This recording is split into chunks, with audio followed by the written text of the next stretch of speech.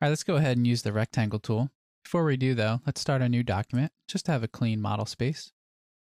Rectangle tool is located right here. It's also R as a keyboard shortcut.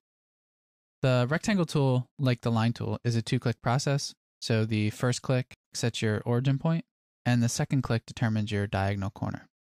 Now, as I hover, you can see I get this diagonal showing me a perfect square. It'll sort of snap to that.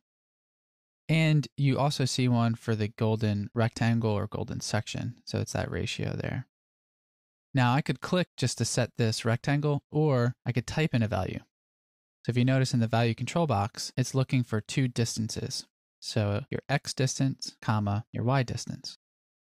So as I'm drawing here, I'll just release my mouse. I'll type in my first distance. Let's just say 15 foot sign, comma, 10 foot sign, enter. Now, a great little feature with SketchUp is it always remembers your input. So as long as you don't click on another tool, you can type in a new value if you don't like the value you inputted. So I could type in 12 foot sign, comma, 12 foot sign, enter. And it's going to give me a 12 by 12 square here.